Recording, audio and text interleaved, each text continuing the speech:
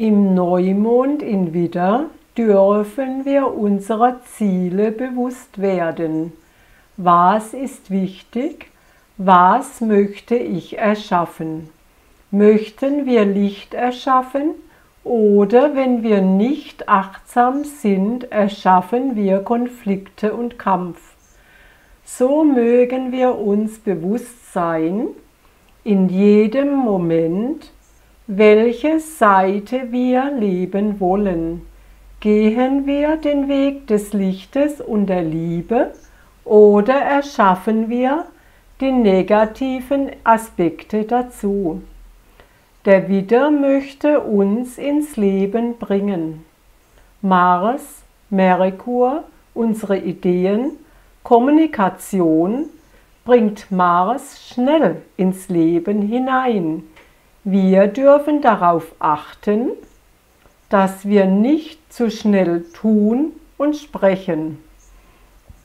Es dürften sich noch angespannte Gefühle zeigen, so würden wir uns erschöpfen, wir würden aus unserer Mitte heraustreten. Smarana, schön, dass du da bist. So mögen wir uns üben, in uns zu hören. Was möchte nach oben steigen, wenn wir uns unseren inneren Schatten stellen, diese nicht mehr wegdrücken, jeden Schmerz, jede Transformation, Konflikte und Ärger. Wir dürfen in uns Altes transformieren, damit der Frühling neu in uns sich entfachen kann. Erzengel Raphael wird in der Meditation unseren Herzenskristall strahlen lassen, um uns mit unserem höheren Selbst zu verbinden. Bleibe bis zum Ende dabei, so wird deine Verbindung vom Herzen zum höheren Selbst in dir eingebettet und verankert.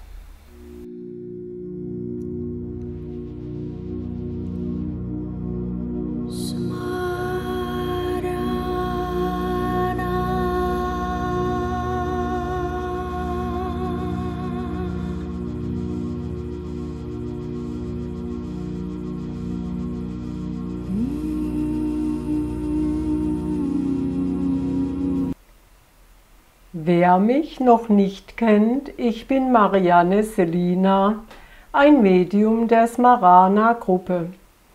Ich begleite dich gerne mit meiner Medialität in Coachings, Heilsitzungen und spiritueller Weiterbildung auf deinem Weg in die neue Zeit. Wenn du meine neuesten Videos erhalten möchtest, kannst du gerne meinen Kanal abonnieren. Die Energie von Pluto befreit uns von allem, was nicht zu uns gehört. Pluto dient uns, unsere innere Freude zu entfachen. Alles, was uns eng macht, wird aufgelöst. Saturn gibt uns unsere innere Stärke dazu im ins Leben gehen heißt es auch einmal etwas zu wagen.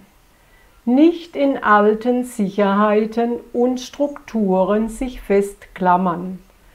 Erkenne in deinem Spiegel, wenn dich dein Gegenüber triggert.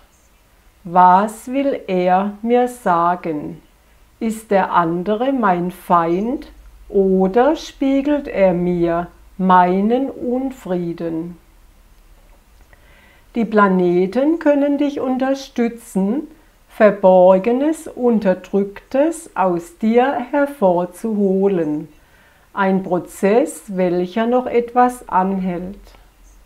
Alles, was jetzt geschieht, führt dich in dein wahres Selbst hinein. Alles, was sich dir noch chaotisch zeigt, hier gilt es, Ruhe zu bewahren, genau hinzuschauen. Wenn du hier Hilfe und Klarheit brauchst, melde dich gerne bei mir. In einer Heilsitzung zeigt sich vieles, was ich auflösen darf. Wenn du dich mehr mit den Energien deiner Sterne und der monatlichen Mondreise beschäftigen möchtest und mehr erfahren möchtest, kannst du dich in der monatlichen Gruppe anmelden. Ich poste auch hier in der Community auf YouTube die täglichen Tagesenergien kostenlos und du findest hier die passenden Videos zur täglichen Mondenergie, welche zu dir passen, du in jedem Moment dir anhören kannst. Hier ist es egal, ob der Mond sich in Voll- oder Neumond befindet, du findest deine eigene momentane Mondphase, welche dann für dich richtig und gut ist. Ebenso kannst du in meinen Livestreams oder Webinaren der sieben Schritte zum Erwachen mit Jesus deinen neuen Weg gehen. Hier führt uns Jesus ins Neue hinein. Oder du kannst in meinen Webinaren Engelmedium vieles erlernen, um mit den neuen Energien zu arbeiten.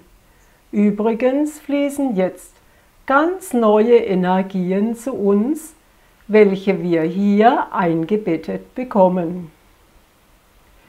In meinen monatlichen Livestreams beschäftigen wir uns mit der Energie der neuen Zeit. Hier erlernen wir, wie wir diese im Alltag nutzen. Auch gibt es in den Livestreams neue Aktivierungsenergien. Ich stelle dir die Links unter dem Video ein.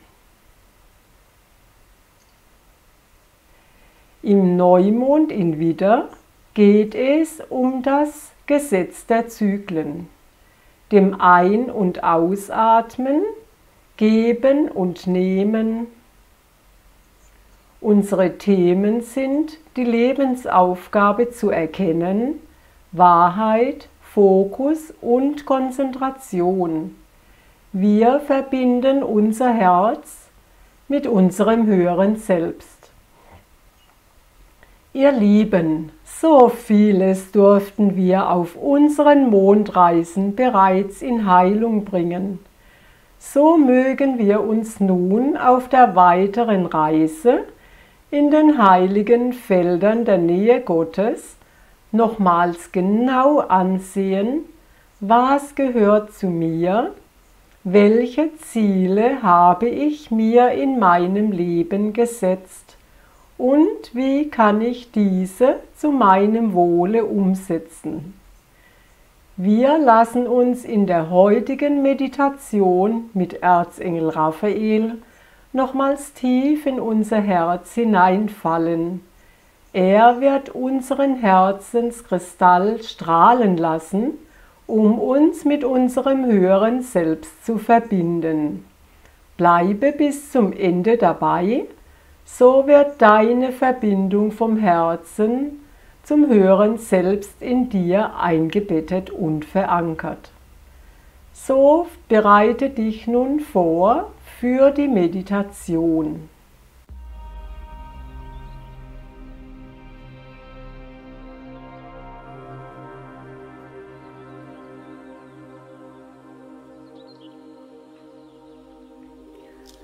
So lasse dich fallen in deinen Herzensraum hinein. Lasse in deinem Herzen die Sonne entstehen. Nimm ihre Strahlen wahr und nimm wahr, wie sie über all deine Körper hinaus strahlt. Ganz weit um dich herum.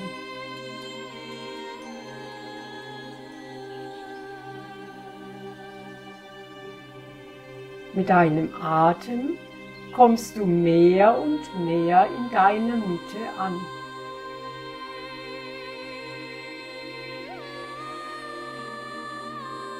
Je ruhiger du wirst in deinem inneren Mitte, desto weiter dehnt sich deine Sonne aus. Nimm wahr, wie der Friede in dir entsteht, wie du ruhiger wirst.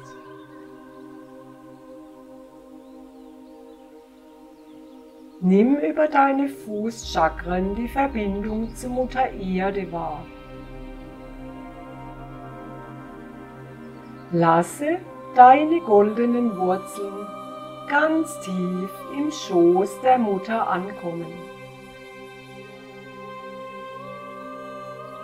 Und nimm wahr, wie sie sich dort geborgen fühlen. Im Schoße der Mutter baden und nimm wahr, wie sie dich in ihrem Schoße hält und trägt. Genieße die Energie.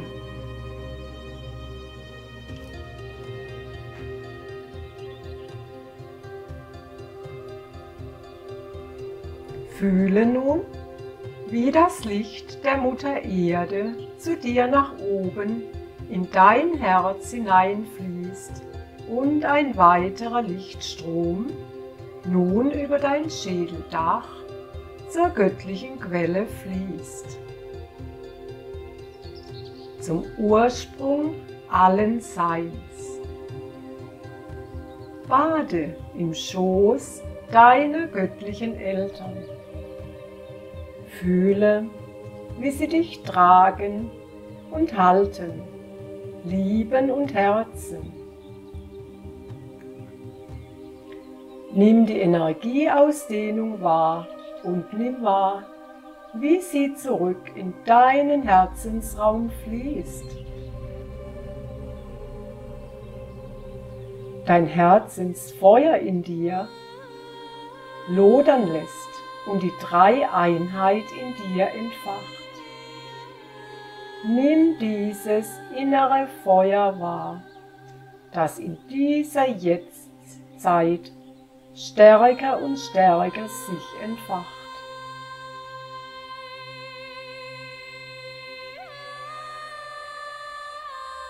Lasse nun diesen Lichtstrahl aus deinem Herzen in dein Sonnengeflecht hineinfließen.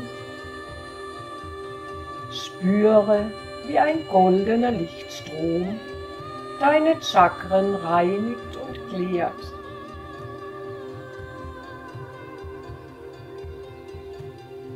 Lasse dich ganz in deinen Herzensraum hineinsinken und nimm ganz bewusst deine Energie wahr.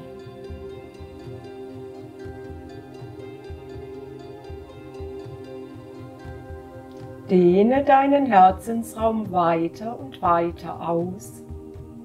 Spüre, wie die Energie deines Herzens sich mit deiner Seele verbindet. Eins wird Nimm deinen Seelenraum wahr, die Energien, die Farben, all deine Fähigkeiten, deine Boten und Helfer, deine Seelenengel dich begrüßen. Sie laden dich ein, mit ihnen zu der Reise in die heilenden Felder von Smarana.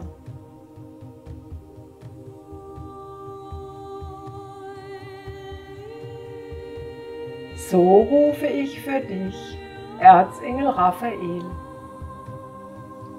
Nimm seine Energie wahr. Seine Liebe, sein Licht. Spüre, wie sein Licht deinen Herzensraum berührt.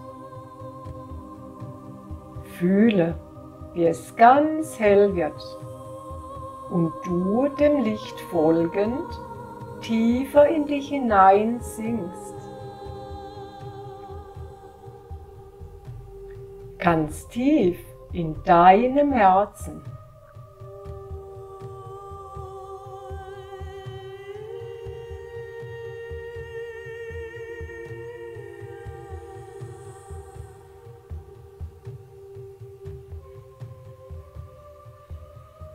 Nimm die Farbe wahr, die entsteht. Es ist deine Farbe, dein inneres Zuhause. Komme mit deinem weichen Atem ganz dort in deinem Herzen an.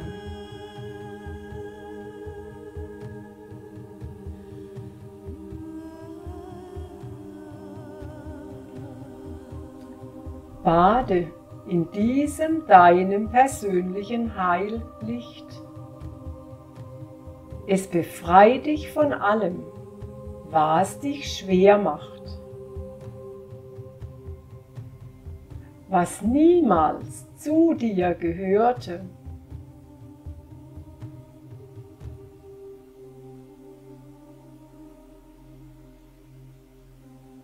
was dich in deinen Grenzen hält.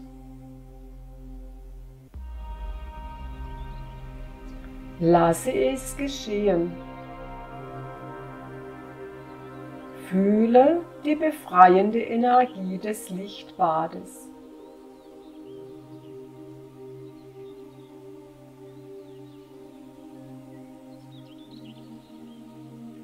So fühlst du, wie du tiefer durch die Farbe in deinen inneren Raum gezogen wirst.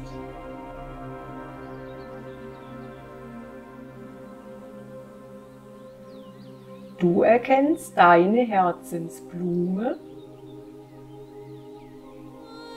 welche sich zu deinem inneren Kristall, deinen Diamanten manifestiert.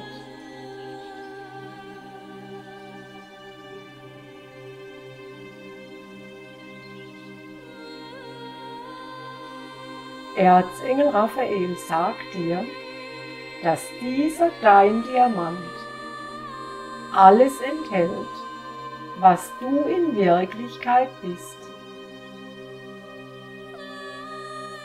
Und er hat die Eigenschaft, die Schärfe, wenn er sich dreht, alle karmischen Verstrickungen aufzulösen, zu schleifen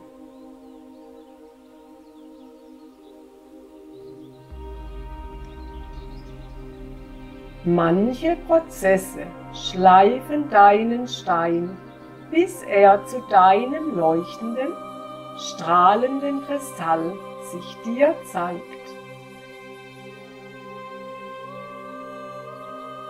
Lasse es geschehen. Fühle, wie er all deine aufsteigenden Themen abschleift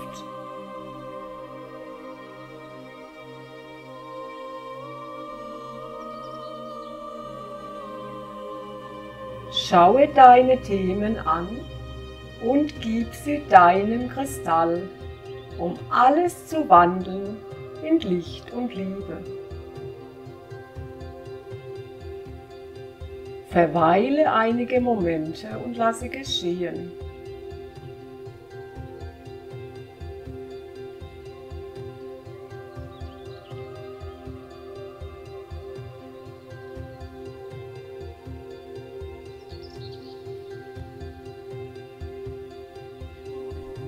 So fühlst du, wie dein Kristall immer größer, immer leuchtender wird.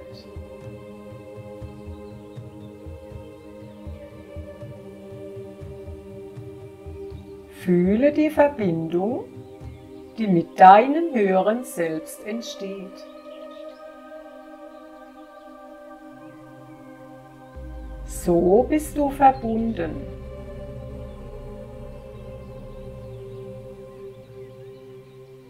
Atme von deinem Herzen zu deinem dritten Auge und fühle über deinem Kronenchakra dein höheres Selbst.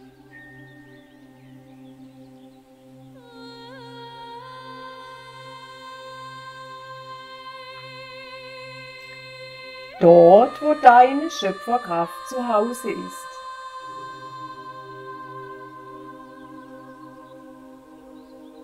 wo alles enthalten ist, in deinem Kristall verankert.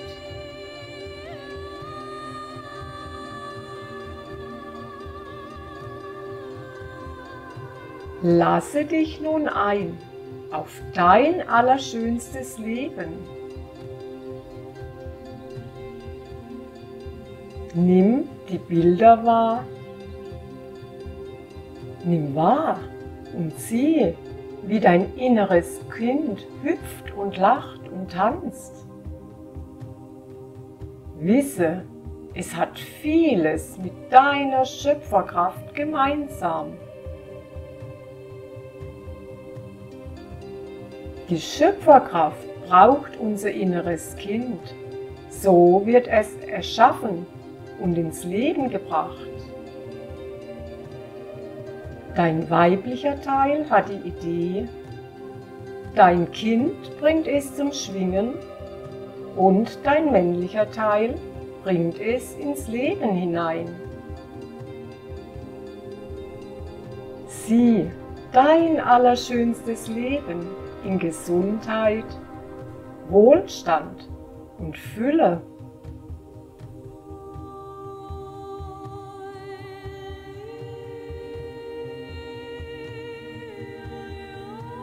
Ein aktives Tun ins Leben hinein, stets in Freude schöpfend.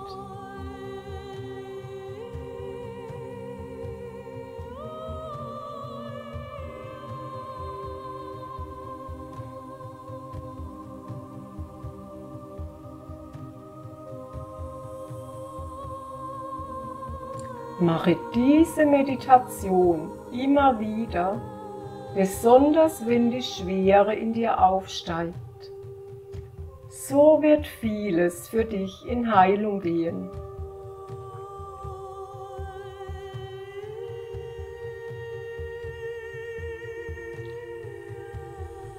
Spüre nun, wie tiefe Liebe, Leichtigkeit und Freiheit dich erfüllen. Lasse das Gefühl zu und behalte es in deinem Herzen.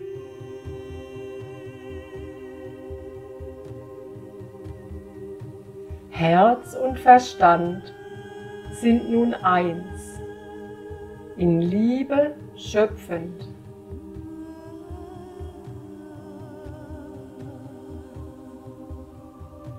So wird es nun Zeit, wieder zurückzukehren. Die Energie löst sich auf. Atme tief und vollständig ein und aus. Sei wieder ganz im Hier und Jetzt. Bedanke dich bei deinen Seelenengeln, bei Erzengel Raphael und bei deiner Seele Freue dich, dass dies nun alles bei dir ist. So spreche ich, Erzengel Raphael, nochmals zu dir. Geliebtes Menschenkind, lasse dich in dein Herz hineinfallen, wenn du dich kraftlos und energielos fühlst wenn die Schwere in dir nach oben steigt. Dein Kristall, dein Licht der Liebe wird alles in Heilung bringen, was dich belastet.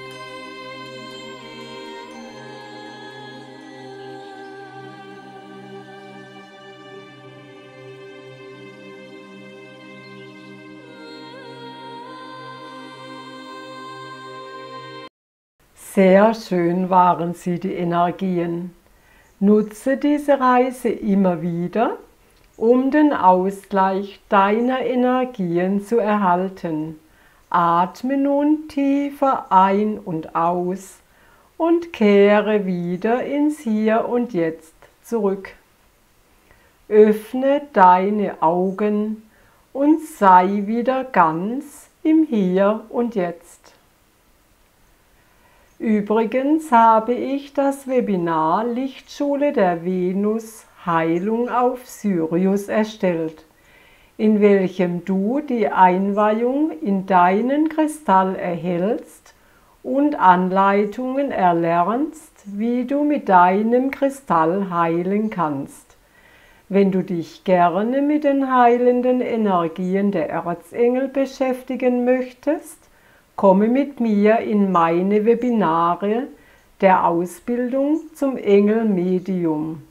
Du wirst hochenergetische Werkzeuge erhalten, deine Kanäle werden eröffnet Du erhältst die Aktivierungen und vieles mehr.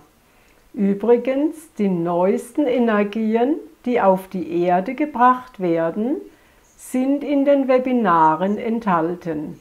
Auch erhältst du in den Engelheilsitzungen die neuen Energien. Übrigens findest du alle Links unter dem Video zu den Webinaren und den Mondreisen. Die Reinigung deiner Energiekörper ist ganz wichtig am Abend, bevor du schlafen gehst. Beschreibt uns die geistige Welt, reinige dich und kehre dich in deiner Urenergie ein. So können wir an dir arbeiten, während du schläfst. Wir tun dies gerne. Wenn du uns rufst, sind wir im selben Augenblick bei dir. Reinige dich auch am Morgen und am Mittag, damit du dich stets in deinen lichten Energien aufhalten kannst. Schön, dass du dabei warst. Wenn dir meine Meditationen gefallen, freue ich mich auf deinen Like und dein Feedback. Viel Freude mit den Energien, bleibe im Licht Melde dich gerne, wenn du meine Hilfe möchtest. Smarana